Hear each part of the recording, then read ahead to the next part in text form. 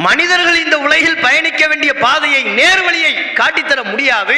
யாரும் காட்டி தருவதற்கு ஆற்றல் பெற்றவர்கள் அல்ல அனைவரும் இறைவனை தவிர உள்ள அவனது படைப்புகள் அனைவரும் அது இறை தூதர்களாக இருந்தாலும் சரி இமாம்களாக இருந்தாலும் சரி பெரியார்களாக இருந்தாலும் சரி முன்னோர்களாக இருந்தாலும் சரி அல்லாஹ் காட்டுற பாதையில போகணும். எல்லாரும் சேர்ந்து அல்லாஹ் ஒரு வழியை காட்டுவான். அந்த வழியில போகணும். அல்லாஹ் காட்டக்கூடிய வழிதான் குரான் அல்லாஹ் காட்டக்கூடிய வழிதான் நபி அல்லாஹிம் சல்லா அலிஸ்லம் அவர்களின் உத்தரவுகள்.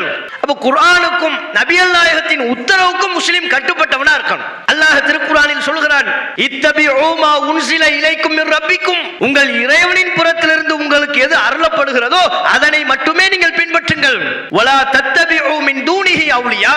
அவற்றை தவிர்த்து ஏனைய நபர்களை பொறுப்பாளர்களாக பின்பற்றாதீர்கள். கலீலம்மா ததக்கரும் குறைவாகத்தானே நீங்கள் உணர்கிறீர்கள். எப்ப ரொம்ப குறைவா சிந்திக்கிறீங்க?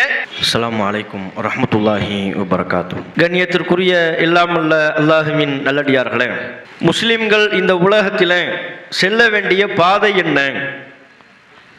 அவர்கள் பயணம் எதை நோக்கி அமைய வேண்டும் என்பதை விளக்குவதற்காக இந்த தலைப்பு எனக்கு வழங்கப்பட்டிருக்கிறது. உலகத்திலே ஏராளமான சித்தாந்தங்கள் கோட்பாடுகள் பல்வேறு மதங்கள் உலகத்திலே இருக்கிறது. இவற்றிலே அல்லாஹுவால் ஒப்புக்கொள்ளப்பட்ட மார்க்கமாக இறைவனால் சட்டதிட்டங்கள் இயற்றப்பட்டு முழு மனித சமூகமும் இந்த உலகத்திலே நல்வழி பெற வேண்டும். அவர்களின் வாழ்வு சரியான முறையில் அமைய வேண்டும் என்பதற்காக அல்லாஹ்வால் பொருந்தி கொள்ளப்பட்ட மார்க்கமாக இஸ்லாம் என்கிற வாழ்க்கை நெறி அமைந்திருக்கிறது. உள்ளபடியே உலகத்தில் உள்ள எல்லா மதங்களையும் விட மிகைக்கின்ற ஒரு மார்க்கமாக இஸ்லாம் இருக்கிறது. உலகத்தில் என்னென்ன சித்தாந்தங்கள் கோட்பாடுகள் சொல்லப்படுகின்றனவோ அவற்றில் கூட முழு மனித சமூகத்திற்கும் பயனுள்ள வகையிலான கோட்பாடுகளாக இருக்காது. சில துறைகளை பற்றி அந்த சித்தாந்தங்கள் பேசும் பல துறைகளை பற்றி பேசாமல் விட்டுவிடும். சில குறிப்பிட்ட அறிவுரைகளை மாத்திரமே மனிதர்களுக்கு அவைகள் சொல்லும் மனிதர்கள் அன்றாடம் சந்திக்கின்ற சிக்கல்கள் தீர்வுகள் அவற்றுக்குண்டான வழிகாட்டுதலை வழங்காமல் விட்டுவிடும். ஆன்மீகத்தை பற்றி பேசும் அரசியலை பற்றி பேசாது. அரசியலை பற்றி பேசும் பொருளாதாரத்தை பற்றி பேசாது. கடவுளை பற்றி பேசும் மனிதன் இந்த உலகத்தில் எப்படி நடந்து கொள்ள வேண்டும் அதை பற்றி பேசாது. இப்படி குறைவுடையவைகளாகத்தான் இந்த உலகத்தில் காணப்படுகின்ற சித்தாந்தங்கள் கோட்பாடுகள் இருக்கிறது. இந்த மாதிரியான எந்த குறைபாடுகளும் இல்லாமல் எல்லா துறைகளை பற்றியும் பேசி மனிதர்கள் இந்த உலகத்தில் சந்திக்கின்ற அனைத்து பிரச்சனைகளுக்கும் தீர்வளிக்கின்ற ஒரு நிறைவான மார்க்கமாக அல்லாஹ் ரப்புல் இஸ்லாம் என்கிற இந்த வாழ்க்கை நிலையை அமைத்திருக்கிறான். ஆதலால் தான் அல்லாஹ் திருக்குறானில் சொல்கிறான் இன்ன தீன இந்த இஸ்லாம். அல்லாஹ்விடத்தில் மார்க்கம் என்றால் இஸ்லாம் தான் அதுதான் இறைவனால் வழங்கப்பட்ட மார்க்கம். மனிதர்களை படைத்தவன் இறைவன். இந்த உலகத்தை வானங்களை பூமியை படைத்தவன் இறைவன். மனிதனையும் மனிதனுக்கு தேவையானவற்றையும் படைத்த இறைவனுக்கு தெரியும் மனிதர்கள் இந்த உலகத்தில் எப்படி வாழ வேண்டும். அவர்கள் செல்ல வேண்டிய பாதை எது? அவர்களின் பயணம் எதை நோக்கியதாக அமைய வேண்டும்? எல்லாவற்றையும் அறிந்தவனாக அல்லாஹ் இருக்கிறான் என்கிற காரணத்தினால் அல்லாஹுவால் ஒவ்வொரு சட்டமும் வழங்கப்பட்ட ஒரு மார்க்கமாக இஸ்லாம் என்கிற இந்த மார்க்கம் இருக்கிறது. ஒருவர் முஸ்லிம் என்றால் அவர் அல்லாஹ்வினுடைய சட்டத்திட்டத்திற்கு கட்டுப்பட்டவர் என்று தம்மை அறிவிப்பு செய்கிறார். நான் என்னை முஸ்லிம் என்று சொல்லுகின்ற பொழுது நீங்கள் உங்களை முஸ்லிம் என்று அடையாளப்படுத்துகின்ற பொழுது அதனுடைய பொருள் என்ன? என்னுடைய பெயர் அரபியில் இருக்கிறது அதனால் நான் முஸ்லிம் என்று நீங்கள் சொந்தம் கொண்டாட முடியாது. முஸ்லிம் என்றால் அவருடைய பெயர் அரபியில் இருந்தால் மாத்திரம் போதாது. அதேவேளை குறிப்பிட்ட ஒரு ஆடை தோற்றத்தில் அவர் காட்சியளிப்பு செய்கிறார். குறிப்பிட்ட ஒரு ஆடை வடிவத்தை அவர் கடைபிடிக்கிறார். ஆகையினால் அவர் முஸ்லிம் என்று சொல்லிவிட முடியாது. முஸ்லிம் என்கின்ற பொழுது அவருடைய பெயரை தாண்டி அவருடைய வெளிப்புற அடையாளங்களை தாண்டி அல்லாஹ் சொன்ன சொல்லுக்கு நான் கட்டுப்பட்டு நடப்பேன்.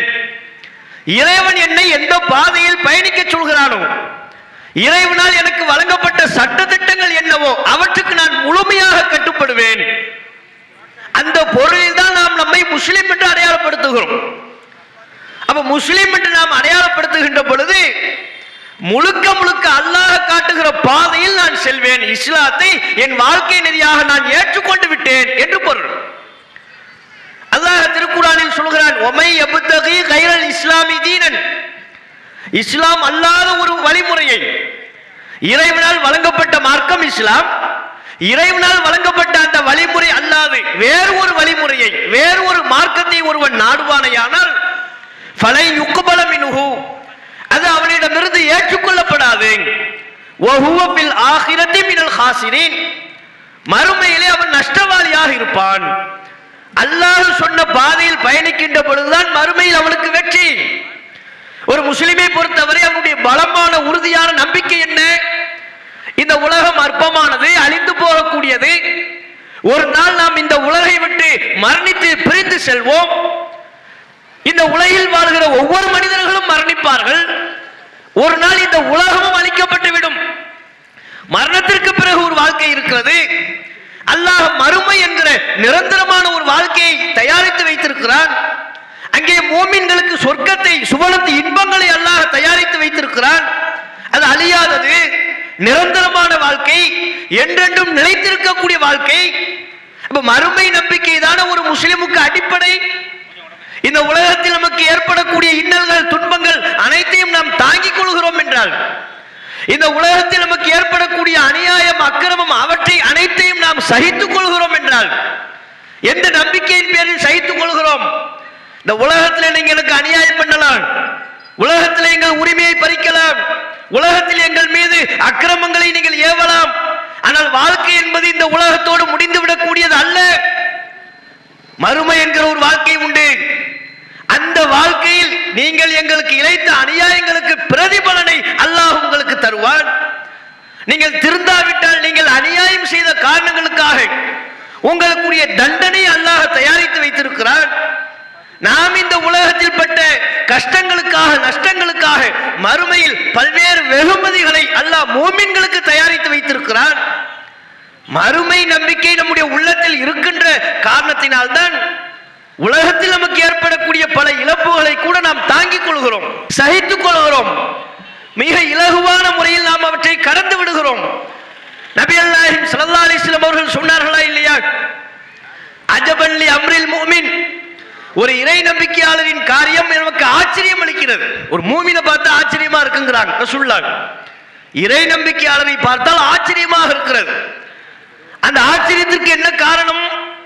அவன் தனக்கு ஏற்படக்கூடிய அனைத்தையும் நன்மையாக மாற்றி விடுகிறான் அவனுக்கு ஒரு நலவு ஏற்பட்டால் அவன் விரும்பக்கூடிய மனதுக்கு நெருக்கமான விரும்பக்கூடிய ஒரு நிகழ்வு ஏற்பட்டால் அல்லாஹவை எண்ணி பார்த்து இறைவனுக்கு நன்றி செலுத்துகிறான். ஃபகான ஹைரன் அது அவனுக்கு நன்மையாக அமைந்து விடுகிறது.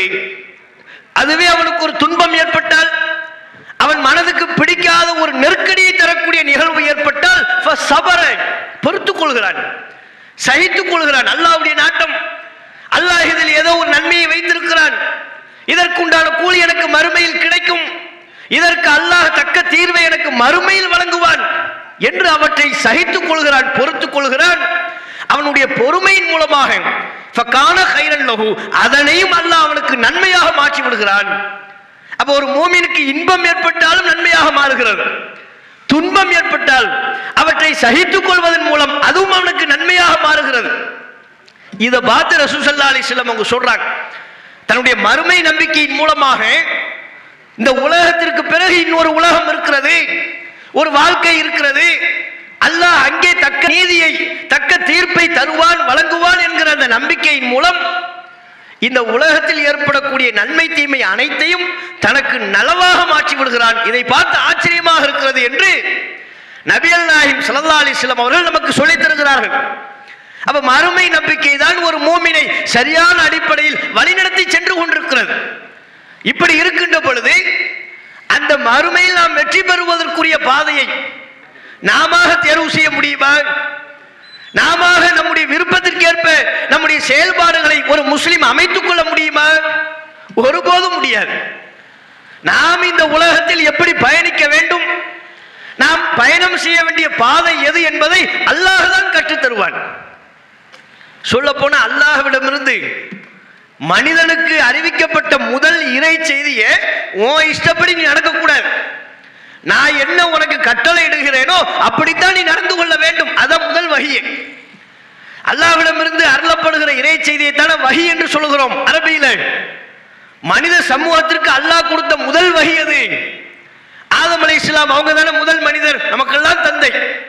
இந்த உலகத்தில் எத்தனை கோடி மனிதர்கள் இருக்கிறார்களோ அவர்கள் அனைவருக்கும் முதல் மனிதர். அவர்கள் அனைவருக்குமான ஒரு தந்தை யார் என்றால் ஆதம் அலை இஸ்லாம் அவர்கள் தான் அவங்க முதல் மனிதரும் கூட முதல் இறை தூதராகவும் இருந்தாங்க. பூமிக்கு போங்க நல்லா அனுப்புறாங்க. அனுப்பும் போது அல்லாஹ் என்ன சொல்லி அனுப்புகிறான் என்ன உத்தரவை ஆதம் அலி இஸ்லாம் அவர்களுக்கு அல்லாஹ் வழங்கினார்? நீங்க பூமிக்கு போங்க. ஃபைம்மா மின்னி ஹுதன். என் புறத்திலிருந்து உங்களுக்கு நேர்வழி வரும். அதைத்தான் நீங்க பின்பற்றணும். அந்த நேர்வழியை பின்பற்றக்கூடியவருக்கு எந்த கவலையும் இல்லை. அவர்கள் பயப்பட வேண்டிய அவசியம் இல்லை அவர்கள் கவலை கொள்ள மாட்டார்கள்.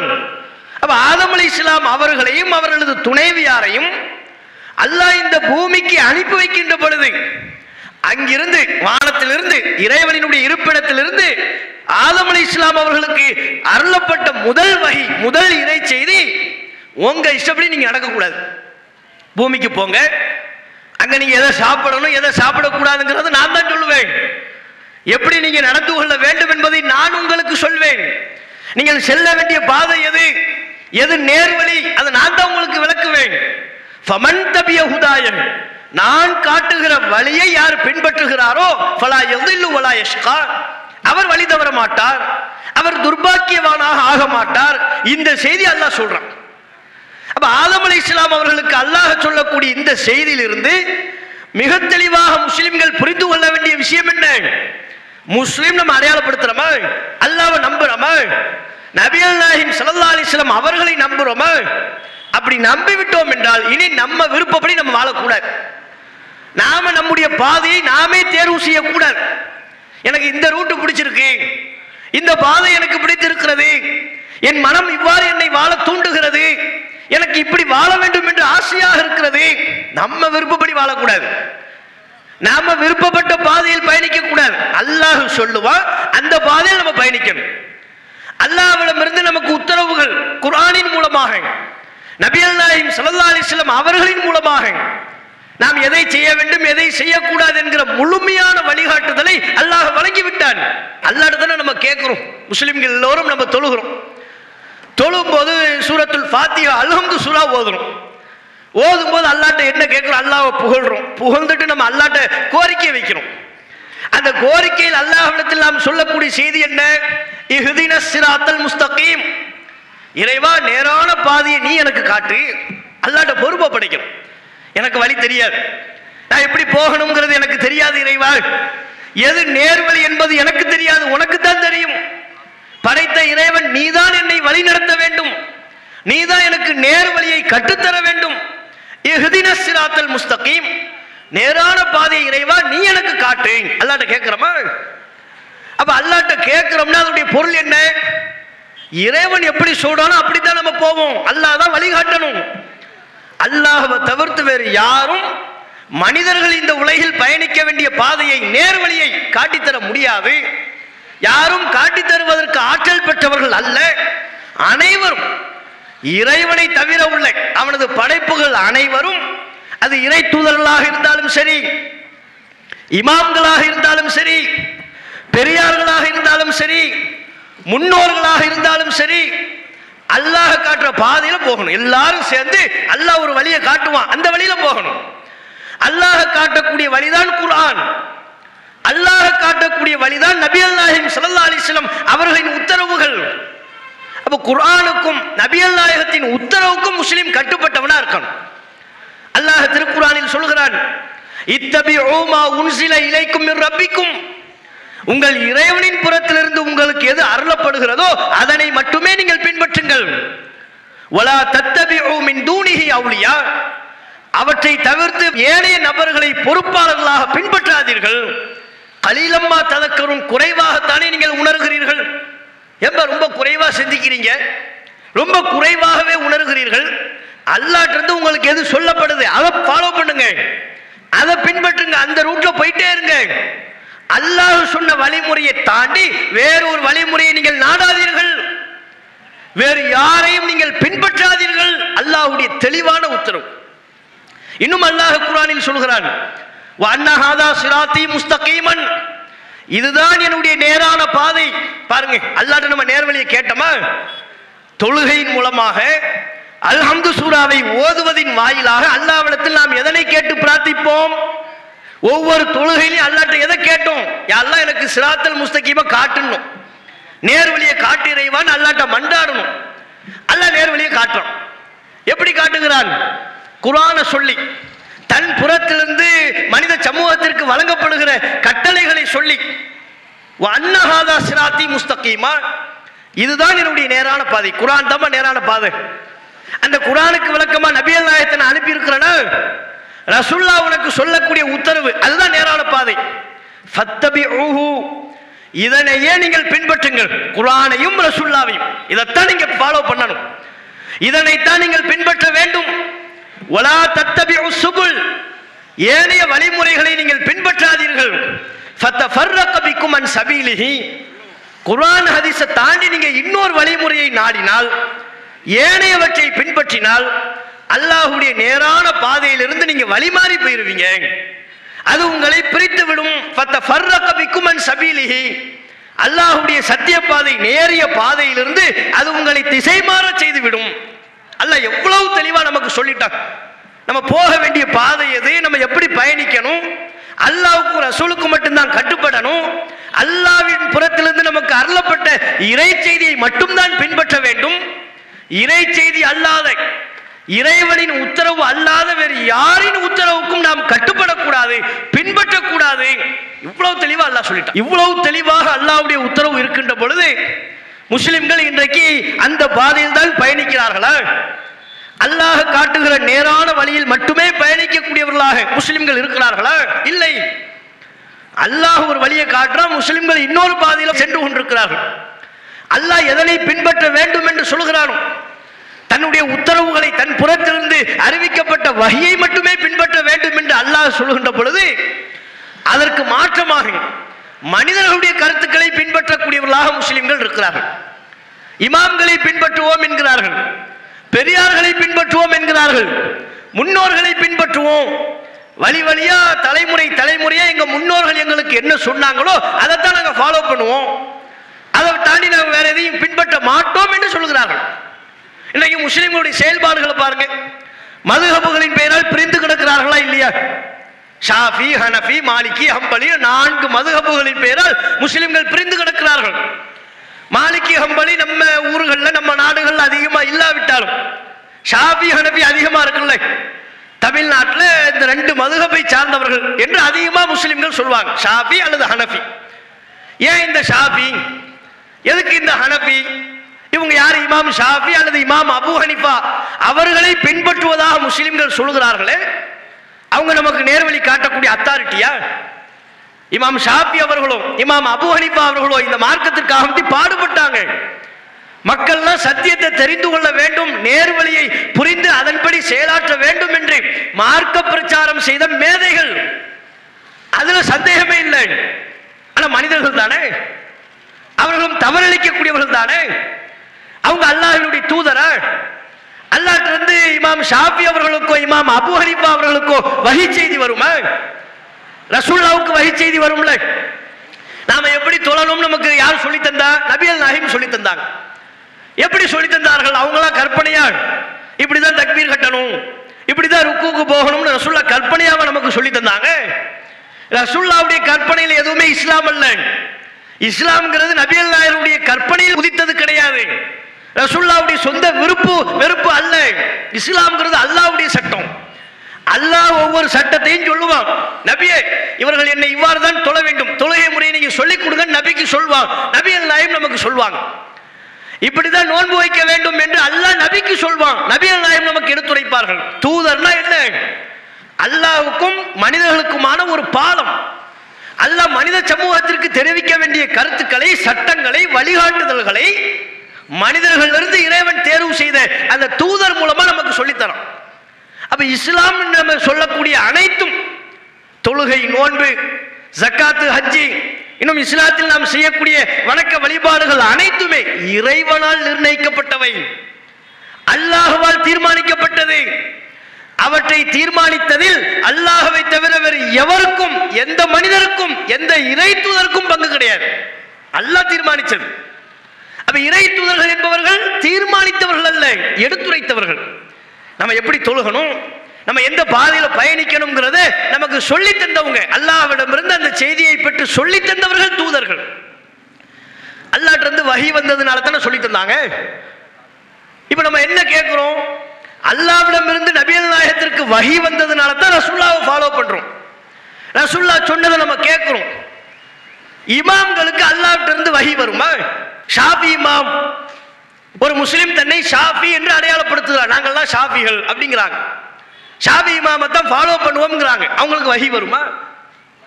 அபு அலிபாவை தான் ஃபாலோ பண்ணுவோம்ங்கிறாங்க. அவங்களுக்கு வகி வருமா? அப்ப இந்த இமாம்களின் பெயரால் ஏன் ஏன் பிரிந்து கிடக்கணும்? அவர்களை பின்பற்றுவதாக ஏன் நம்ம அடையாளப்படுத்தணும். அவங்க என்ன அல்லாஹின் புறத்திலிருந்து வகையை பெற்றவர்களா? கிடையாது அல்லவா இத்தனைக்கும் அந்த இமாம்கள் என்ன நமக்கு சொன்னாங்க பிரச்சாரம் பண்ணாங்க? தௌ இன்றைக்கு மக்கள் மத்தியில் முஸ்லிம்களுக்கு மத்தியில் எதனை பிரச்சாரம் செய்கிறதோ அந்த அடிப்படையை தான் இமாம்களும் பிரச்சாரம் பண்ணாங்க. இமாம் ஷாபி அவர்களோ இமாம் அபு ஹனீஃபா அவர்களோ எங்களை பின்பற்றுங்கன்னு சொல்லவே கிடையாது. முஸ்லிம்களை எல்லாம் கூப்பிட்டு நாங்க என்ன சொல்றோமோ அதுதான் மார்க்கம். நான் ஹலால்னா ஹலாலு நாங்க ஹராம்னா ஹராமு நாங்க மக்ரூஹ்னா மக்ரூஹி நீ நண்டு சாப்பிடக்கூடாதுன்னு நான் சொல்வேன் நீ சாப்பிடாத. அவர் சாப்பிடலாம்னு சொல்வார். நீ சாப்பிட்டுக்க. இப்படின்னு இமாம்கள் சொன்னாங்களா? இமாம்கள் ஒருபோதும் தங்களுக்கு மார்க்கத்தின் அதிகாரம் தங்களுக்கு இருப்பதாக சொல்லவே இல்லை. மார்க்கத்தை பிரச்சாரம் செய்யக்கூடிய பிரச்சாரங்களாகத்தான் தங்களை அடையாளப்படுத்திக் கொண்டார்கள். அப்போது கூட மிக கவனமாக மிக தெளிவாக மக்கள் மத்தியில் எடுத்துரைத்தார்கள். நான் மனுஷன். நாங்கள் சொல்றதுலயும் தப்புகள்லாம் வரும். நாங்கள் சொன்னதை நீங்கள் கேட்டால் எங்களுடைய பேர்ல சில கருத்துக்களை எல்லாம் பார்த்தீங்கன்னா ஹதீஸ்ல எது இருக்குதோ அதை எடுத்துக்கொள்ளுங்கள். எது ஹதீஸ்ல இல்லையோ எது குரான்ல இல்லையோ அதை நீ எடுத்துக்காதீங்க என்று மிக தெளிவாக இமாம்கள் சொன்னார்கள். இமாம் ஷாபி அவர்கள் இமாம் அபு ஹனிபா அவர்கள் சொன்ன மிக பிரபலியமான கூற்று என்ன தெரியுமா? இதா சஹல் ஹதீஸு ஃபஹுவ மதுஹபி. ஒரு ஆதாரப்பூர்வமான ஹதீஸ் நபிமொழி என்ன சொல்கிறதோ அதுதான் இங்க மதுகபுன்னாங்க இன்னைக்கு அப்படி நேர் மாற்றம் ஹதீஸ் என்ன சொல்லுதோ அதுதான் தங்களுடைய மதுகம் என்று இமாம்கள் சொன்னார்கள். நான் ஒரு கருத்தை சொல்றேன். ஹதீஸ் வேறொன்றை சொல்கிறதா? ஹதீஸ் சொன்னதை எடுங்க என் கருத்தை விட்டுங்கன்னாங்க இமாம்கள். அப்ப அந்த இமாம்களின் பெயரால் சத்தியத்தை பிரச்சாரம் செய்த அல்லாவிடமிருந்து அருளப்பட்ட வகையைத்தான் பின்பற்ற வேண்டும் என்று பிரச்சாரம் செய்த இமாம்களின் பெயரால் முஸ்லிம்கள் இன்றைக்கு பிரிந்து கிடக்கிறாங்க. அதுல உள்ள ஆளுங்கள்கிட்ட போய் மார்க்க தீர்ப்பு கேட்டா நீ எந்த மதுகபை நண்டு சாப்பிடலாமான்னு கேட்டால் உடனே பதில் வராது. அவர் திருப்பி ஒரு கேள்வி கேட்பார். நீங்கள் எந்த மதுகப்னு சொல்லுங்க. ஷாபியா ஹனபியா ஷாபியா இருந்தால் ஒரு சட்டம். ஹனபியா இருந்தால் ஒரு சட்டம். உங்களுக்கு கூடும் உங்களுக்கு கூடாது. உங்களுக்கு சரி உங்களுக்கு தப்பு. உங்களுக்கு ஹலால் உங்களுக்கு ஹராம். உங்களுக்கு முஸ்தகப்பு இவருக்கு மக்ருஹ் முஸ்தஹப்னா விரும்பத்தக்கது. நீங்க செஞ்சா விரும்பத்தக்கது அவங்க பண்ண வெறுக்கத்தக்கது. எப்படி இப்படி மாறும்? எப்படி அல்லாவுடைய சட்டம் இப்படி மாறுகிறது? அல்லா தான் வழியை காட்டுவாங்கிறதுல முஸ்லிம்கள் தெளிவா இருக்கணும். இன்றைக்கு சமூகத்தில் உள்ள ஏராளமான அனாச்சாரங்கள் தர்கா வழிபாடு சந்தனக்கூடு தட்டு தகடு தாயத்து பில்லி சூனிய நம்பிக்கை இது எல்லாத்துக்கும் என்ன காரணம்? அல்லாஹ் சொன்னபடி நான் போவேன்னு சொன்னான். முஸ்லிம்கள் அனைவரும் இந்த புரிதலை இந்த அடிப்படையை இஸ்லாம்ங்கிறது அல்லாவுடைய மார்க்கம். நான் என்ன முஸ்லீம் சொல்றேன்னா அல்லாஹ் சொன்ன வழியில் நான் நடப்பேன் என்பது தான் அதனுடைய அர்த்தம். லா ஹிலல்லாவுடைய அர்த்தமே அதுதானங்க. களிமா சொன்னா தானே ஒருவர் முஸ்லீம் ஆவாரு. களிமா நமக்கு என்ன சொல்லித் தருகிறது? லா இலாஹ இல்லல்லாஹ் முஹம்மது ரசூலுல்லாஹ். வணக்கத்திற்குரியவன் அல்லாஹ் ஒருவன் தான். அல்லாஹ் தான் எஜமானன். அவன் தான் சட்டம் போடுவான். நான் அவனுடைய அடிமை. அல்லாஹ் நான் வணங்குற இடத்துல நான் இருக்கேன். அவன் சொல்லுவான். அவன் சொன்ன சொல்லுக்கு நான் கட்டுப்பட்டு நடப்பேன். களிமாவே அதுதான். அல்லாஹ் தான் வழியை காட்டுவான். அல்லாஹ் காட்டுகிற வழியில் நான் பயணிப்பேன். களிமாவில் அதை சொல்லிவிட்டு அல்லாஹ் தான் எஜமானன் என்பதை ஒப்புக்கொண்டு விட்டு வெளியில போனா இல்லை எங்க இமாம்கள் தான் எங்களுக்கு எஜமானர்கள். அல்லாஹ் என்ன சொன்னாலும் நாங்கள் குரான்ல பார்க்க மாட்டோம். ரசுல்லா என்ன சொன்னாங்கன்னு பார்க்க மாட்டோம். எங்க இமாம்கள் எங்களுக்கு ஹலால்னா ஹலால். இமாம்கள் ஹராம் என்றால் ஹராம். பெரியார்கள் என்ன சொன்னாங்க அதைத்தான் நாங்கள் பார்ப்போம். தகடு தட்டு தாயத்து இது இதையெல்லாம் சரி காண்பதற்கு யார் குரான்லயா இருக்கு? குரான்ல இருக்க அல்லாஹ் சொன்னானான்னு பார்த்தா என்னைக்கும் தருகாக்கள்லாம் இல்லாம போயிடும் தாயத்துக்கு வேலை இல்லை. மௌலது மீறாது கொண்டாட்டங்களுக்கு இடம் இல்லை. அப்ப இது எல்லாவற்றையும் எப்படி சரி காண்கிறார்கள்? குரான் அதிச பார்க்கல.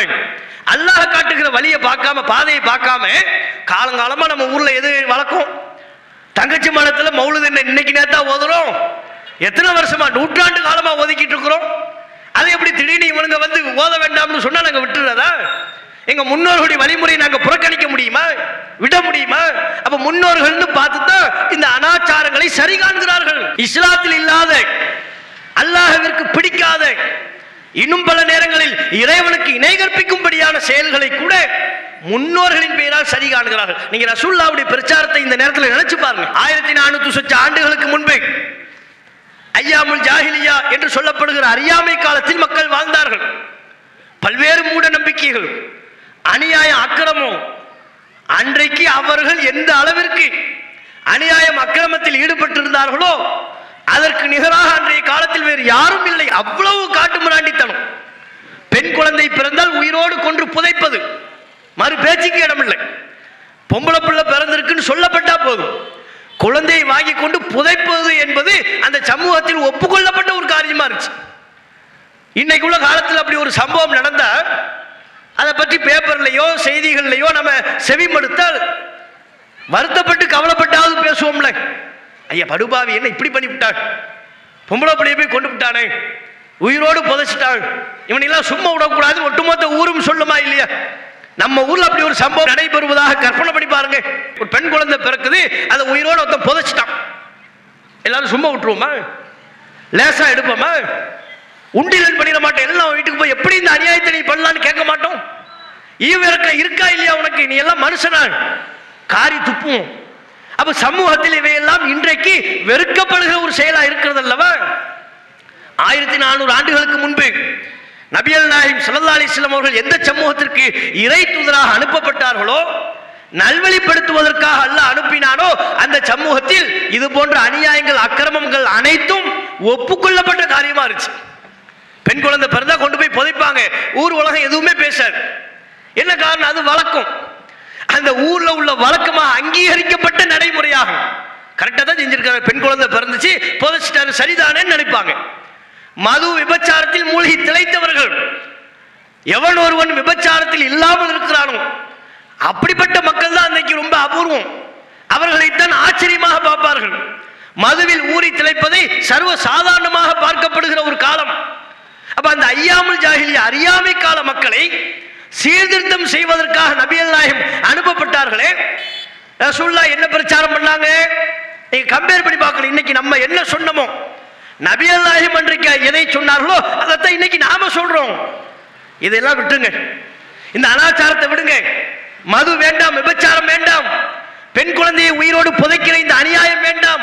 வறுமைக்கு பயந்து உங்கள் குழந்தையை கொள்ளாதீர்கள். மிகப்பெரிய சீர்திருத்த பிரச்சாரத்தினை நபியல் நாயகம் மேற்கொண்டார்கள் அல்லாட்டிலிருந்து உங்களுக்கு என்ன அறிவிக்கப்படுதோ அதை ஃபாலோ பண்ணுங்க. உங்க இஷ்டப்படி வாழாதீங்கன்னாங்க. சுருக்கமா சொல்ல போனா நபியல் நாயகத்தினுடைய பிரச்சாரம் எது? உங்க இஷ்டப்படி நீங்க வாழாதீங்க. உங்க மனம் போன போக்கில் நீங்கள் வாழக்கூடாது. உங்களை படைத்தவன் இறைவன். அவன் உங்களுக்கு கட்டளையிடுவான். அவன் உங்களுக்கு வழிகாட்டுவான். அந்த வழியில் நீங்கள் வாழுங்கள். இதுதான் ரசுல்லாவுடைய பிரச்சாரம். அதற்கு அறியாமை கால மக்கள் என்ன பதிலை சொன்னார்கள் தெரியுமா? அதையெல்லாம் நாங்கள் செய்ய மாட்டோம். நீ என்ன அல்லாவுடைய பாதையின் புதுசா ஒன்று சொல்றீங்க? அதை நாங்கள் கேட்க மாட்டோம். வழி வழியாக காலம் காலமாக எங்கள் முன்னோர்களை நாங்கள் எதில் கண்டோமோ அதைத்தான் நாங்கள் பின்பற்றுவோம் என்றார்கள். இன்றைக்கு முஸ்லிம்களிடம் நாம் இந்த கருத்தை சொல்கின்ற பொழுது குரானை ஃபாலோ பண்ணுங்க ஹதீஸை ஃபாலோ பண்ணுங்கன்னு பிரச்சாரம் பண்ணும் பொழுது என்ன பதிலே அளிக்கிறார்களோ? மௌலுது வேண்டாம் மீலாது வேண்டாம் கத்தபாத்தியா வேண்டாம் தட்டு தகடு தாயத்து வேண்டாம்னு சொன்னா இதெல்லாம் குரான்ல இல்லை ஹதீஸ்ல இல்லை இவை வேண்டாம் என்று நாம் சொல்வோமே ஆனால் எங்க முன்னோர்கள் சொன்னதை நாங்கள் விடணுமா? காலங்காலமா எங்க ஊர்ல கடைபிடிக்கப்படுகிற நடைமுறையை நாங்க விட்டுட்டு புறக்கணிச்சுட்டு வரணுமான்னு கேட்கிறாங்கல்ல இதே தான் அறியாமை கால மக்கள் அன்றைக்கு நபியல்லாரிடம் சொன்னார்கள். அப்படி நீங்க சிந்திச்சு பார்க்கணும். யோசித்து பார்க்கணும். முஸ்லீம் என்று சொல்வதில் பெருமை அல்ல. முஸ்லீம்னா அல்லாஹ் எப்படி சொல்றானோ அதற்கேற்ப நடந்து கொள்வதில் தான் பெருமை இருக்கிறது. அல்லாஹ் காட்டுகிற வழியை புறக்கணித்து விட்டு மனம் போன போக்கில் வாழ்வேன் என்றால் அவன் எப்படி அல்லாஹுடைய பார்வையில் முஸ்லீமா ஆவான்? எந்த வீடுகளை நீங்க எடுத்துக்கொண்டாலும் இஸ்லாமிய நடைமுறைகளை இன்றைக்குள்ள முஸ்லிம்களிடம் பார்ப்பது அரிதிலும் அரிதாக இருக்கிறது. மார்க்கத்திற்கு எதிரான செயல்பாடுகள் நம்பிக்கைகள். ஒரு காலத்தில் தமிழ்நாட்டில் உள்ள முஸ்லிம்கள் அதிகமானவர்கள் எப்படி இருந்தாங்க? முஸ்லிம் வீடுன்னு சொன்னால் அதுக்கு அடையாளம் என்ன தெரியுமா? அவர் கிரில்லில் எழுநூத்தி எண்பத்தாறுன்னு எழுதியிருப்பார். எழுநூத்தி எண்பத்தாறு இல்லைன்னா முஸ்லீம் வீடே இல்லை. ஒரு முஸ்லீம் ஒரு தெருக்குள்ளே போகிறோம் பாய் வீடு எது அப்படின்னு கண்டுபிடிக்கிறதா இருந்தா அதுக்கு அடையாளமே என்ன? கொஞ்சம் வசதிப்பட்டவரா இருந்தா கிரில்லில் இரும்பு கம்பி இருக்குல்ல அதுலயே வளைச்சி எழுநூத்தி எண்பத்தாறுன்னு போட்டுருவார். அந்த அளவுக்கு வசதி வாய்ப்பு இல்லைன்னா சும்மா ஒரு பெயிண்ட்ல ரெட்டு கலர் பெயிண்ட்ல வெளியில பளிச்சுன்னு யார் பார்த்தாலும் தெரியுற மாதிரி எழுநூத்தி எண்பத்தாறுன்னு எழுதியிருப்பார். அதை பார்த்தா இது பாய் வீடு. அப்ப ஒரு முஸ்லீம் வீடுனா அங்க என்ன அடையாளம் இருக்கும்? ஒரு காலம் இருந்தது. இன்றைக்கும் பல பேரிடத்தில் அந்த நடைமுறை இருக்கிறது. எழுநூத்தி எண்பத்தாறு.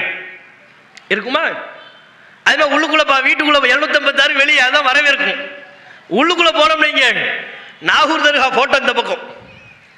நாகூர் அனிபா பாட்டு கேசட்டு அது ஒரு பக்கம் இருக்கும். இதெல்லாம் இல்லைன்னா அவங்களுக்கு அவங்க இஸ்லாத்திலே இல்லைன்னு விளங்கிக்கிறாங்க. ரமலான் வந்துருச்சா? பிறை பார்த்தாச்சுன்னு அறிவிப்பு செஞ்சுட்டா அது அப்போ உடனே உங்களுக்கு ரமலான் ஃபீலிங்லாம் வராது. எடுப்பா நாகூர் அணிப்பா பாட்டு கேசட் எடுப்பா போடுப்பா. ரமலான் புனித ரமலான் பாட்டு படிச்சாதான் அந்த ரமலான் வந்துருச்சுல்ல. நாகூர் அணிப்பா பாட்டு கேட்டா தான் ரமலான் ஃபீலுக்கே வருவார். ஹஜ் பெண்ணா வந்துருச்சுன்னு வைங்க. சும்மா ஹஜ் பெண்ணா சொன்னா தெரியாது. நாகூர் கணிப்பா பாட்டை போட்டு ஹஜ் பெருநாள் வந்த சரித்திரம் கேளுங்கள்னு ஒரு பாட்டை போட்டு விடணும். அப்பந்தான் என்ன? ஹஜ் பெருநாள் கல்யாணமா? கல்யாணத்துக்கும் குரான்லாம் வராது ஹதீஸ் வராது. அப்பவும் நாகூர் அடிப்பா தான் இவருக்கு தேவை. நாகூர் அனிபா பாட்டை போடணும். போட்டு விட்டா தான் மணமக்களை வாழ்த்துகிறோம்னு அவரு மணமக்களை வாழ்த்து ஒரு அஞ்சாறு பாட்டு படிச்சிருக்கிறாரு. மணமக்களே மணமக்களே வாழ்கன்னு பாட்டு போட்டார்னா ஆ, இப்பதான் நம்ம பிள்ளைக்கு நல்ல பறக்கத்தான் கல்யாணம் நடக்குது. இப்படியாக முஸ்லிம் சமூகத்தினுடைய நம்பிக்கைகளையும் செயல்பாடுகளையும் பல்வேறு காரியங்கள் கலந்திருந்தனவே அவையெல்லாம் இஸ்லாத்தின் அடையாளங்களா? அல்லாஹ் காட்டிய பாதையில் அவைகள்லாம் உள்ளனவ? எழுநூத்தி எண்பத்தி ஆறுன்னு எழுதுறாங்க. தாகூர் தர்காவினுடைய போட்டோவை வீட்டுக்குள்ள மாட்டி வைத்திருந்தால் பறக்கத்துன்னு நினைக்கிறாங்க. தர்காவே இஸ்லாத்தில் இல்லாதது. அங்கேயே போகக்கூடாதுங்கிறோம். முஸ்லிம் அல்லாதவர்களுக்கு நம்ம பிரச்சாரம் பண்றோம். நீங்க போகாதீங்க. நம்முடைய தொப்புள்குடி உறவுகள் சகோதர சகோதரிகள் தர்காங்கிறது இஸ்லாத்தில் இல்லாதது.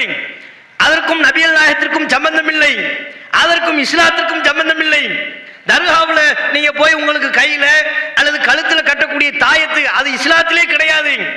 உடம்பு சரியில்லைன்னா மருத்துவமனைக்கு போங்க. கடவுள்கிட்ட பிரார்த்தனை செய்யுங்க. ஏக இறைவன் அந்த ஒரு நம்மை படைத்த இறைவன்கிட்ட பிரார்த்தனை செய்யுங்க. அதை விட்டுவிட்டு ஒரு தாயத்தை கையில கட்டிவிட்டா நோய் குணமாயிருமா? தர்காவுக்கு போனா உங்களுக்கு ஏற்பட்டிருக்கிற நோய் சரியாகி விடுமா குணமாகி விடுமா இதெல்லாம் இஸ்லாத்தில் இல்லைன்னு அவங்ககிட்ட நம்ம பிரச்சாரம் பண்றோம். ஆனா முஸ்லிம்களை வீட்டுக்குள்ள எதை மாட்டி வைத்திருப்பார்கள்? நாகூர் தர்கா போட்டா. இதெல்லாம் இருந்தா தான் முஸ்லீம் வீடு. அது போக அந்த பழைய காலத்துல பார்த்தா ஒரு குதிரை மாதிரி ஒண்ணு இருக்கும். ரெக்க வச்ச ஒரு குதிரை. இப்ப பல முஸ்லீம்கள் வீட்டுல அதை பார்க்க முடியல. அது ஒண்ணு இருக்கும். ரெண்டு ரெக்க இருக்கும். வெள்ளை கலர்ல ஒரு குதிரை போட்டா. அது யாருன்னு சொல்லி வச்சிருக்கிறாங்களா? என்னன்னு தெரியல. ஆ, புராக் வாகனம். அதான் என்னவா புராக் வாகனம் வரும்போது இவர் கேமராவில் போட்டோ எடுத்துட்டாரு பாத்தீங்களா? அதனால அதை ஒரு வீட்டுக்குள்ள மாட்டி வச்சிருந்தா பறக்கத்து. இன்னும் பல வீடுகள்ல. ஆயத்தில் குருசி. ஆயத்தில் குருசி என்ன செஞ்சிருப்பாங்க? ஆயத்தில் குருசி என்பது நம்ம ஓதணும். ஓதுனா நமக்கு நன்மை. ஓதுவதற்குரிய நினைவூட்டலாக நாம் ஒன்றை கருதினால் அது சரி. நம்ம வீடுகளில் குரானை வச்சிருக்கிறோம். ஓதுவதற்குரிய நினைவூட்டல். நம்ம வீட்டுக்குள்ள குரான் இருக்கிறதுனாலேயே பறக்கத்துன்னு ஆயிருமா? அது ஆகாது. அது மாதிரிதான் ஆயத்தில் குர்சியும் மாட்டி வைத்து விட்டால் போதும் நினைக்க கூடாது அப்படி முஸ்லிம்கள் நிறைய அவர்களுடைய நடைமுறைகள் இருந்தது. அப்ப இதெல்லாம் யோசிச்சு பாருங்கள் இந்த இருநூத்தி எண்பத்தாறு தர்கா போட்ட இதெல்லாம் இஸ்லாத்தில் உள்ளதா? அல்லாஹ் காட்டிய வழிமுறையில் இருக்கா? குரான் எங்கேயாவது எழுநூத்தி எண்பத்தாறு இது ரொம்ப பறக்கத்து மிகுந்தது. இது உங்க வீடுகளில் எழுதி வைங்கன்னு குரான்ல இருக்கா? அல்லாஹ் காட்டிய பாதைன்னா அதுதானே அல்லது ரசுல்லா அதை சொல்லியிருக்கணும்ல? ரசுல்லாவுடைய ஹதீஸ்ல எங்கேயாவது சொல்லியிருக்கிறாங்களா? அல்லாவும் சொல்லல ரசூலும் சொல்லலை. அப்ப அல்லா ரசூலுடைய பாதையில் இந்த எழுநூத்தி எண்பத்தாறு இல்லை. முஸ்லிம்களின் நடைமுறையில் எழுநூத்தி எண்பத்தாறு இருக்கிறது என்றால் இவர்கள் அல்லாஹ் காட்டிய பாதையில் செல்கிறார்களா? மனோவிச்சைப்படி செல்கிறார்களா? எங்க இமாம்கள் சொன்னாங்க பெரியார்கள் சொன்னாங்கன்னு எப்படி சொல்லி தப்பிக்க முடியும்? அவே நம்ம முஸ்லீம் என்று சொல்கிறோம்? அல்லாவுக்கு கட்டுப்பட்டவர்கள் என்று சொன்னா தானங்க முஸ்லிமே? ஹஜ் பெருநாள் நெருங்குகின்ற வேலையின் போதெல்லாம் இப்ராஹிம் நபியை பற்றி நாம் நினைவுபடுத்தி பேசுகிறோம். அவருடைய தியாகத்தை மெச்சுகிறோம். அவருடைய அர்ப்பணிப்பை பற்றி மக்களுக்கு மத்தியில் சொல்லி புலதாங்கிதம் அடைகிறோம். உண்மையில் இப்ராஹிம் அலி இஸ்லாம் அவர்களை அல்லாஹ் மெச்சுவதற்கும் புகழ்வதற்கும் அடிப்படை காரணம் அவரிடத்தில் உள்ள கட்டுப்பாடு. அல்லாஹ் சொன்னா நான் கேட்பேன். என் விருப்பப்படி நான் நடக்க மாட்டேன் என்பதுதான் இப்ராஹிம் அலி இஸ்லாம் அவர்களுடைய வாழ்க்கை. திருக்குறானில் அல்லாஹ் சொல்கிறான் இது காலலஹு ரப்புஹு அஸ்லிம். இப்ராஹிமிற்கு அவருடைய இறைவன் சொன்னான் கட்டுப்படு அப்படின்னு அல்லாஹ் சொன்னான் இப்ராஹிமே கட்டுப்படுங்க. நான் சொன்னா கேட்கணும். உங்க இஷ்டப்படி நீங்க நடக்கக்கூடாது. சரியா? நான் சொன்னா கேட்பீங்களா? கட்டுப்படுவீங்களா? கட்டுப்படு. அப்படின்னு இப்ராஹிம் அலி இஸ்லாம் அவர்களுக்கு அல்லாஹ் உத்தரவிட்டானாம் உத்தரவிட்ட பொழுது இப்ராஹிம் அலி இஸ்லாம் அவர்கள் சொன்னார்களாம் கால அஸ்லம் து ரப்பில் ஆலமீன். அகிலத்தாரின் இறைவனாகி அல்லாஹவிற்கு நான் கட்டுப்பட்டு விட்டேன். கட்டுப்படுறேன்ட்டான் இறைவா நீ என்ன சொன்னால் நான் கேட்கிறேன். ஏன் இஷ்டப்படி நடக்க மாட்டேன்? என் மனோ இச்சைப்படி நான் வாழ மாட்டேன். என்னுடைய முன்னோர்கள் பழக்க வழக்கம் அதையெல்லாம் நான் பார்க்க தயார் இல்லை நீ என்ன நீ சொல்லு. அதை நான் கேட்கிறேன். இதான் இப்ராஹிம் நபியினுடைய வாழ்க்கை. இந்த இப்ராஹிம் நபியினுடைய கட்டுப்படுறது தான் முஸ்லிம்களுக்கான முன்மாதிரி. இதை முஸ்லிம்கள் மத்தியிலே சொல்கின்ற பொழுது இல்லை முன்னோர்கள் பெரியார்கள் இமாம்கள் என்ன பேச்சு இது? இந்த மாயையிலிருந்து நம்ம விலகி வரணும். நீங்கள் ஒன்றை மிக கவனமாக சிந்தித்து பார்க்க வேண்டும். நாம் ஒவ்வொருவரும் என்றைக்கேனும் ஒரு நாள் கண்டிப்பாக மரணத்தை தழுவும். கபரில் வைக்கப்படுறோம். மலக்கள் வர்றாங்க விசாரிக்கிறாங்க. என்ன விசாரிக்கிறாங்க நம்ம கிட்ட யாரை பற்றி விசாரணை? எந்த இமாம்கள் நமக்கு வழிகாட்டுவதாக சொல்கிறோமோ அந்த இமாம்களை பற்றி கபரில் நமக்கு விசாரணை உண்டா? இமாம் ஷாபியை பற்றி அல்லாஹ் கபூர்ல நமக்கு கேட்பானா? அபு ஹனிபா அவர்களை பற்றி அல்லாஹ் கபூர்ல கேட்பானா? ஷாபியை பின்பற்றினியா? அவர் எதை ஹலால்னு சொன்னாலும் அதன்படி நடந்தியா? இப்படி அல்ல நம்ம கேட்பான். கபூர்ல நம்ம வச்சதும் நம்ம பதில் சொல்ல வேண்டிய விஷயம் அது. இன்றைக்கு நாம் மரணித்தாலும் நாளைக்கு மரணித்தாலும் கண்டிப்பாக ஒரு நாள் நம்ம மரணிப்போம். ஒரு நாள் நம்ம கபூர்ல போய் படுத்தாகணும். எல்லா நாளும் நம்ம குடும்பத்தோடு உறங்க முடியாது. பல நேரங்களில் ஒருவரை அடக்கம் செய்வதற்காக வேண்டி கபிஸ்தானுக்கு செல்கிறோம். அவரை அடக்கம் செய்து முடித்து விட்டதற்கு பிறகு கபிஸ்தானை விட்டு வெளியே வந்துடுறோம். எல்லா நாளும் கபுஸ்தானை விட்டு வெளியே வர முடியாது. ஒரு நாள் நாம் ஜனாசாவாக கபுஸ்தானுக்கு கொண்டு செல்லப்படுகின்ற பொழுது அதுதான் நம்முடைய இறுதி நுழைவு. அந்த நாளில் கபிரிஸ்தானுக்கு நுழைகின்ற பொழுது அதிலிருந்து வெளியேற முடியாது. எல்லா நாளும் வீட்டுக்கு போறோம். வீட்டை விட்டு வெளியே வரோம் வெளியே வந்து திரும்ப வீட்டுக்கு போறோம். காலையில வீட்டை விட்டு வெளியே செல்கிறோம். ஒரு வேலையில் ஈடுபடுகிறோம். வேலை முடித்து விட்டு மாலை நேரம் வந்து விட்டால் மீண்டும் வீட்டுக்கு சென்று விடுகிறோம். மனைவி மக்களை பார்த்து சந்தோஷப்படுகிறோம்.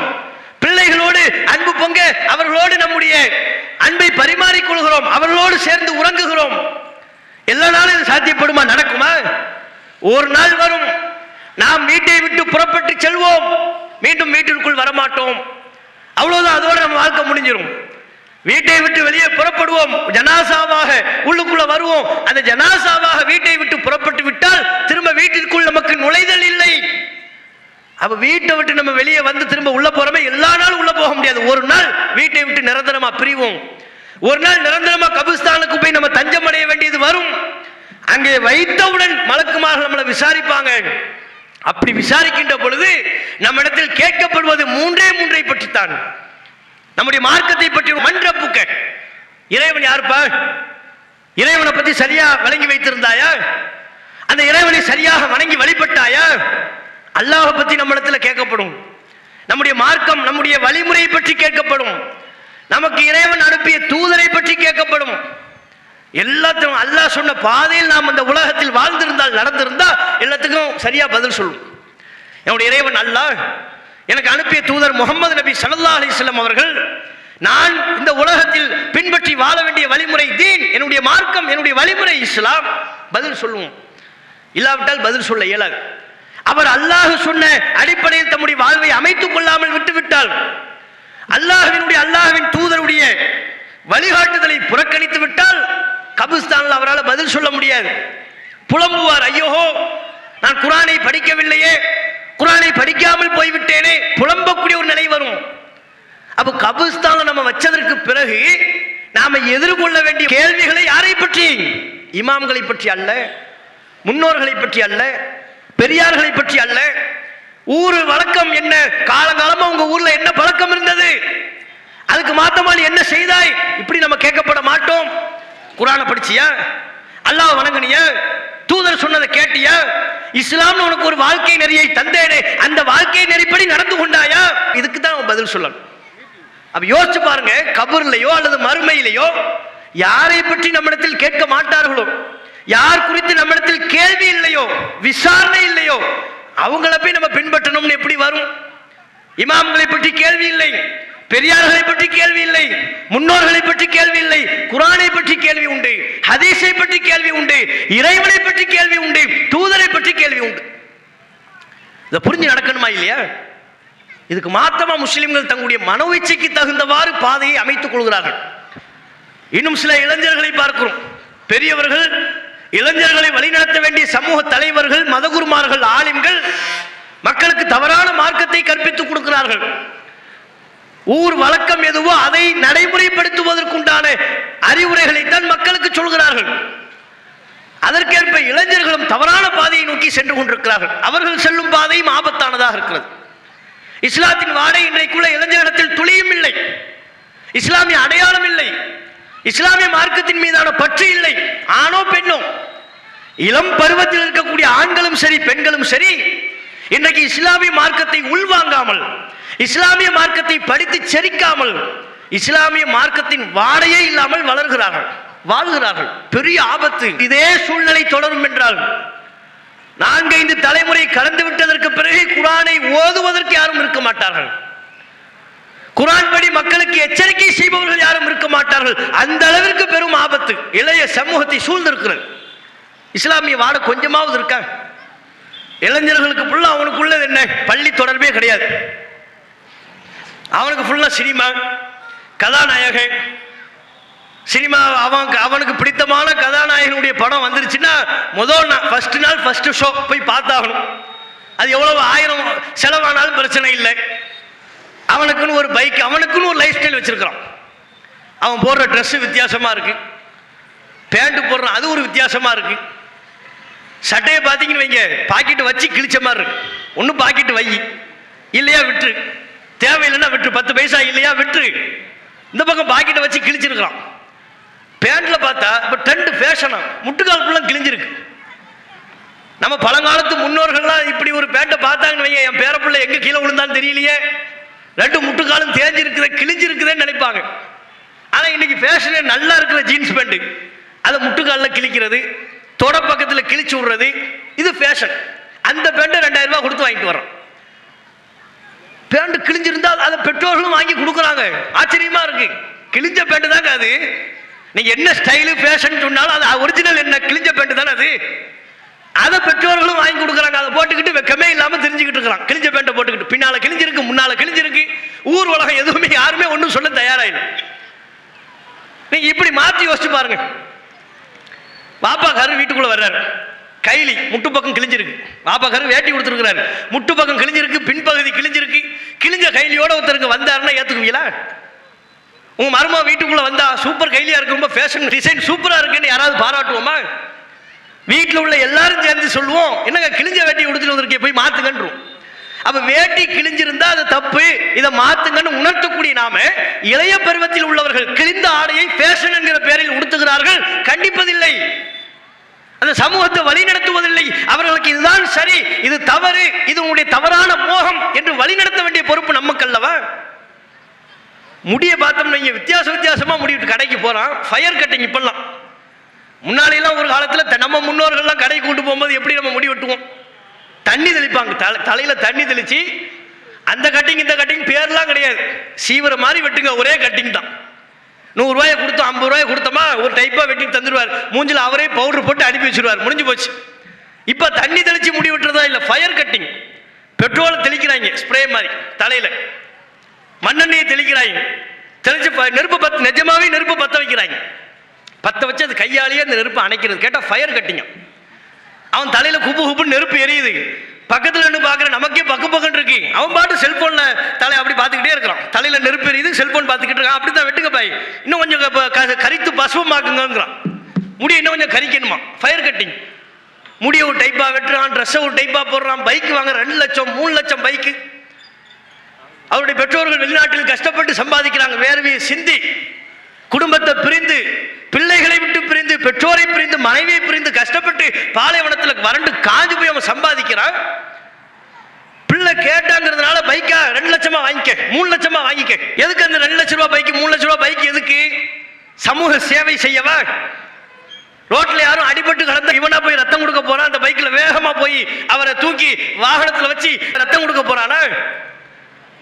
ரெண்டு லட்ச ரூபா கொடுத்தவன் வாங்குற பைக்கில் அவன் மட்டும் தான் ஏற முடியும். பின்னால யாரும் ஏறணும்னு நினைச்சோம் நீங்க ஏணிப்படி வச்சு தான் ஏறணும்? முன்னால பார்த்தா பள்ளமா இருக்கு. பின்னால பார்த்தா செம்ம ஹைட்டா இருக்கு. மேல உட்கார்ந்து இருக்கிறவங்க சரிக்கு கீழே வந்துருவாங்க. அந்த மாதிரி ஒரு பைக் சாதாரணமா ஏறவும் முடியாது. நம்ம பேண்ட் போட்டு ஏறணும்னு நினைச்சவங்க பேண்ட் கிழிஞ்சிரும். ஒரு ஸ்டூல் வீட்ல இருந்து கொண்டு வரணும். அந்த ஸ்டூலை வச்சு அதுக்கு மேலே தான் ஏறணும். எதுக்கு இப்படி ஒரு பைக்கு பைக்கை வச்சுக்கிட்டு இளைஞர்கள் எப்படி சுத்துறான்னு நினைக்கிறீங்க ரோட்டில் அதுக்குன்னு வித்தியாசமாக ஹார்ன் சவுண்டு வச்சுக்கிட்டு கம்பெனிலேருந்து ஒரு பைக்கு தந்தால் அவன் முன் அவன் முன்பகுதியை மாற்றுறான் பின்பகுதியை மாத்துறான் அவன் அவன் கற்பனைக்கு ஏற்ற மாதிரி டிசைன் கொடுக்குறான். ஹார்னு பார்த்தா திடீர்னு பொம்பளை கத்துற மாதிரி ஒரு ஹார்னு குழந்தை அழுகுற மாதிரி ஒரு ஹார்னு வித்தியாச வித்தியாசமாக ஹார்ன். ரெண்டு பேரும் சண்டை பிடிக்கிற மாதிரி ஹார்ன். எதுக்குடா உனக்கு உனக்கே அந்த கிறுக்குத்தனம்? அதை எடுத்துக்கிட்டு ரோட்டில் திடீர் வேக வேகமாக நார்மல் ஸ்பீட்லாம் போகிறதே கிடையாது. அந்த பைக்கு வாங்குறதே ஸ்பீடாக போகிறதுக்கு தான் அடுத்தவனை போய் முட்டுறதுக்கு தான் இவன் எங்கேயாவது மரத்தில் முட்டி கீழே விழுறதுக்கு தான் தெரிஞ்சே நம்ம பெற்றோர்கள் வாங்கி கொடுக்கலாமா? சமுதாயத்தை வேடிக்கை பார்க்கலாமா? தவு ஜமாத்து ஒரு தெருவில் ஒரு ஊரில் மீட்டிங் போடனா அதுக்கு ஊர் ஜமாத்தார்கள் எல்லாரும் கலந்து பேசி இவன் இந்த ஊரில் பிரச்சாரம் பண்ணக்கூடாது வந்த ஊரை ரெண்டாக்கிடுவான் மூணாக்கிடுவான்னு கொதித்து போய் அதை தடை செய்வதற்கு முன் வரக்கூடிய நீங்கள் சமுதாய தலைவர்கள் சமுதாய பிரமுகர்கள் ஜமாத்தார்கள் நம்ம ஊர்ல உள்ள நம்ம பகுதியில் உள்ள இளைஞர்கள் இவ்வாறு வழிகட்டு போவதை தடுப்பதற்கல்லவா நம்ம முன் வரணும்? எங்களை எதுக்குறீங்க அது ரெண்டாவது வைங்க. இளைஞர்களை பண்படுத்துவதற்கு என்ன திட்டம் உங்களிடத்தில் உள்ளது? இவர்களை பண்படுத்துவதற்கு இவர்களுக்கு சரியான வழியை காட்டுவதற்குரிய ஒரு அறிவுரையை நீங்கள் வழங்குகிறீர்களா? நம்ம ஊர்ல தடுக்கணும்லங்க எதுக்குங்க இந்த பைக்கு? தெருக்குள்ள அவ்வளோ வேகமா போறதுக்கு எதுக்கு? எத்தனை செய்திகளை கேள்விப்படுறோம்? இளைஞர்கள் இது போன்ற உயர்ரகமான பைக்குகளை வாங்கி ஏகப்பட்ட விபத்து. பல நேரங்களில் உயிரிழப்பும். ஒன்று அடுத்தவர்களை ஏற்றி அவர்களை கொண்டு விடுகிறார்கள் அல்லது தங்கள் வாழ்க்கையை பறி கொடுத்து விடுகிறார்கள். இதுக்கு தான் நம்ம நீங்க கஷ்டப்பட்டு ரெண்டு லட்ச ரூபா மூணு லட்ச ரூபாய்க்கு பைக் வாங்கி கொடுக்குறீங்களா? உங்க பிள்ளை வாழ்க்கையை தொலைக்கவா? உங்க பிள்ளை மூலமா அடுத்தவங்க வாழ்க்கையை நீங்க தொலைக்க வைப்பதற்கா? அது போக காசு பணம் அதிகமாக புழங்கவும் போதைப் பொருள் பழக்க வழக்கங்களுக்கு அடிமையாகிறார்கள். அது நமது பகுதிகளில் சொல்லவே வேண்டிய அவசியம் இல்லை முஸ்லிம்கள் அடர்த்தியாக வசிக்கக்கூடிய பகுதிகளில் திட்டமிட்டு செய்கிறார்களோ என்று சந்தேகம் கொள்ளக்கூடிய அளவிற்கு போதைப் பொருள் பழக்க வழக்கம் அதிகமாக இருக்கிறது. கட்டுக்கடங்காம இருக்கு.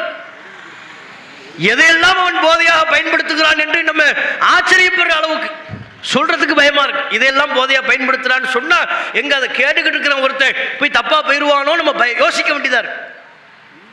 அவ்வளோ போதைப் பொருட்களினுடைய பழக்கம். பீடி சிகரெட்லாம் சாதாரணமாயிருச்சு. ஒரு காலத்துல எல்லாம் பெட்டி கடையில் நின்று பீடி குடிப்பாங்க. அவர்கிட்ட சொல்லிட்டா போதும். ஏன் உங்க மாமா அந்த போராடன்னு சொன்னா உடனே கீழே போட்டுருவான். ஃபூ ஃபூ ஃபூன்னு ஊதி புகையெல்லாம் தள்ளி. கடையில் போய் பாக்கு மிட்டாய் வாங்குறது என்ன? அந்த மிட்டாய் வாங்குறது என்ன? ஸ்ப்ரே அது இப்படி பலவாரா திரிவார்கள்.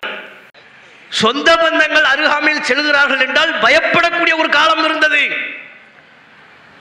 இன்னைக்கு அதையெல்லாம் தாண்டி கஞ்சா கசக்கிட்டு இருக்கிறான். டே உங்க தகப்பனார் போறாருன்னு சொன்ன அவர் கண்டுக்க மாட்டாருங்கிறான். கண்டுக்க மாட்டார். அதை அவர்லாம் கண்டுக்க மாட்டாரு. நம்ம நம்ம ரூட்டுக்கு ஒரு வர வந்தால் நடக்கிறதே வேறங்கிறான். ஏன்டான்னு கேட்டுட்டோம்னா இவனுக்குள்ள கிறுக்கு என்ன? வீட்டுக்கு போய் டிவியை உடைக்கிறது. செல்போனை தூக்கி வீசுறது. பெத்த தாய் மண்டையை உடைக்கிறது. நடக்குதுங்க. அநியாயம். கூத்துக்கள் நடக்குது. மனித உருவில் இருக்கக்கூடிய அரக்கர்களாக மாறிக்கொண்டிருக்கிறார்கள். ஏன்டா இதை தப்பு பண்றேன்னு கேட்டா அவன் அவனை அடிக்கிறது ஆயுதங்களை கொண்டு தாக்குறது. என்ன பழக்கம் இது? அப்ப போதைப் பொருள் பழக்க வழக்கத்திற்கு ஒரு சமூகமே அடிமைப்பட்டு கிடக்கின்ற பொழுது குறிப்பாக தமிழகத்திலேயே அண்மை காலமாக போதைப் பொருட்களின் வழக்கம் அதிகரித்து விட்டது அது உண்மை. ஆளும் அரசாங்கம் அவற்றை உரிய முறையில் பார்த்து கண்காணித்து இளைய சமூகத்தை மீட்பதற்குண்டான துரித நடவடிக்கையில் இறங்க வேண்டும். அவற்றை கடந்து நம் சமூகத்திலேயும் இப்படிப்பட்ட தீமைகள் ஊடுருவுகிறது. அவர்களை சரியான முறையில் வழிநடத்த வேண்டிய கடமை பொறுப்பு நமக்கு இருக்கிறது. அந்த ரூட்ல போகாதப்பா அது தவறு. நீ பயணிக்கிற பாதை தவறு. அல்லாஹுடைய திருப்தியை நோக்கி வா. நபியல் நாயகத்தின் சொல்லை கேட்பதற்கு வாழ் இந்த போதை வேண்டாம். உங்களுடைய அறிவை இழக்கச் செய்கிற இது போன்ற பொருட்கள் வேண்டாம். இன்னல் ஹம்ரே ஒல் மைசிர ஒல் அன்சாபு ஒல் அஸ்லாம் ரிஜிசுமின் அமளி ஷைத்தான். மது சூதாட்டம் போதை எல்லாமே ஷைத்தானின் காரியங்கள் தீய காரியம்.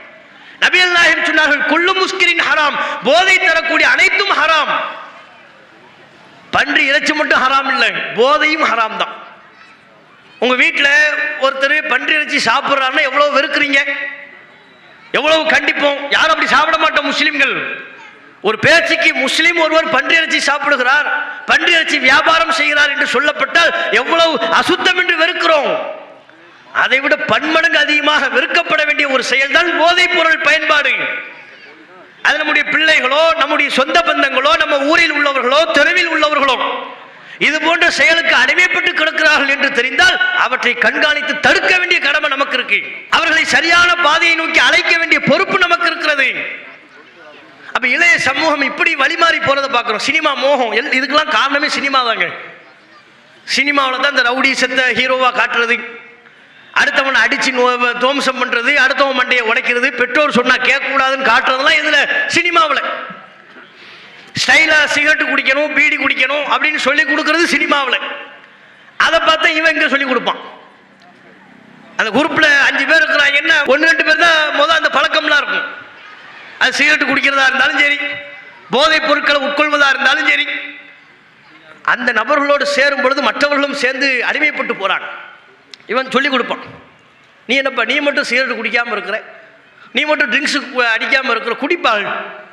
இல்லை எனக்கு ஒத்து வராது. குடிச்சு பாரு அதெல்லாம் ஒத்து வரும். சிகரெட்டை குடிச்சிட்டு லேசாக இருமலான்னு வைங்க. ஏ இருமல் வருதுப்பா எனக்கு பிடிக்காதுப்பான்னு சொன்னோம்னா இவன் கிளாஸ் எடுப்பார். பெரிய தர்பியா அங்கே நடக்கும். ஆரம்பத்தில் அப்படித்தான்ப்பா இருக்கும். ஆரம்பத்தில் இருமல் இருக்கும். தொண்டை கரகரன் இருக்கும். போக போக சரி லைஸாக கறக்கம் மயக்க வர மாதிரி இருக்கா? அதெல்லாம் நான் தாங்கி பிடிச்சிக்குவோம். என்ன உ- உன்னுடைய உயிர் நண்பன்டா நான். உன்னை உற்றுவனா நானு? குடி. எது எதுக்கு? சிகரெட்டு குடிக்க வைக்கிறதுக்கு போதைப் பொருள் பழக்க வழக்கத்திற்கு. இப்படி கெடுக்கக்கூடிய செய்தான்கள் இருக்கிறார்கள். அல்லாஹ் ரப்புல் குரானில் குர்ஆனில் சொல்கிறான் அல் ஹில்லாவும் யௌமைதின் பாகுஹும் லி பாதின் அதுவுன். உலகத்தில் உச்ச நண்பர்களாக இருந்தவர்கள் என் உயிர் நண்பன் என் சட்டையை அவன் போடுவான் அவன் சட்டையை நான் போடுவேன்னு சொல்றாங்கல்ல இன்னைக்கு? அப்படி பேசித்தானே கெட்டு சீரழிகிறார்கள். அல்லாஹ் சொல்கிறான் உலகத்தில் உற்ற நண்பர்களாக இருந்தவர்கள் மறுமையில் ஒருவருக்கொருவர் எதிரிகளாக இருப்பார்கள். இல்லல் முத்தகையின் இறைச்சவாதிகளை தவிர அல்லாஹ்வை பயந்து இறைச்சத்தின் அடிப்படையில் யார் தங்களுடைய நட்பை அமைத்துக் கொண்டார்களோ அவங்க தான் மறுமையில சேஃப். அது அல்லாம இன்றைக்கு உலகத்தில் நண்பர்களாக இருந்தவர்கள் மறுமையில் அல்லாட்ட அப்படி சொல்லிட்டு போக முடியாது. அல்லா எனக்கு அவன் தான் சொன்னான்? அவன் தான் எனக்கு கத்து தந்தான்? சொல்லி தப்பிக்க முடியாது. அப்ப இவற்றையெல்லாம் புரிந்து சரியான சத்தியத்தை அறிந்து கொண்ட அந்த சத்தியத்தின் வழி வழி நடக்கணும். குரான் என்ன சொல்லுது ஹதீஸ் என்ன சொல்லுது அதுதான். இறுதியாக ஒரு வசனம் அல்லாஹ் குரானில் சொல்கிறான் அவற்றை நினைவூட்டி கொண்டு இன்னமா காண கவுலல் முஃமினின் இதா துஉ இலல்லாஹி வ ரசூலிஹி லியஹ்கும பைனஹும் ஐ யகூலு சமிஅனா வ அத்தஅனா மூமின்களினுடைய செயல்பாடு எப்படி இருக்கும் தெரியுமா? அல்லாஹ் சொல்றான். அல்லாவை நோக்கியும் அல்லாஹ்வின் தூதரை நோக்கியும் கட்டுப்பாடு என்று அவர்களிடத்தில் சொல்லும் பொழுது மூமின்கள் சொல்வார்கள் சமீனா அத்தானா கேட்டோம் கட்டுப்பட்டோம். மறுமையை நம்ம நம்பினோம்னா அந்த வார்த்தையை சொல்லணும் அது யாரா இருந்தாலும். எப்படிப்பட்ட நபராக இருந்தாலும் அல்லாஹ் இதை தம்ப சொல்றான் இந்த செயலை விடு. அல்லாஹ் சொல்வதை கேள் என்று சொன்னால் உண்மையான ஒரு முஸ்லிம் மறுமை வெற்றியை மனதில் பதிய வைத்திருக்கக்கூடிய ஒரு முஸ்லிம் சமீனா தானா கேட்டோம் கட்டுப்பட்டோம் என்று சொல்ல வேண்டும். அப்படிப்பட்ட நன்மக்களாக அல்லாஹ் ரப்புல் ஆலமீன் நம் அனைவரையும் ஆக்கி அருள் புரிவானாக என்று கேட்டு என்னுடைய உரையை நிறைவு செய்து கொள்கிறேன். அஸ்லாம் அலைக்கும் வரமத்துல்லாஹி வபரகாத்து. இஸ்லாம் மற்றும் சமுதாய செய்திகளை அறிந்து கொள்ள தமிழ்நாடு தௌஹீத் ஜமாஅத் யூடியூப் பக்கத்தை உடனடியாக சப்ஸ்கிரைப் செய்து கொள்ளுங்கள். மேலும் பெல் பட்டனையும் கிளிக் செய்து கொள்ளுங்கள்.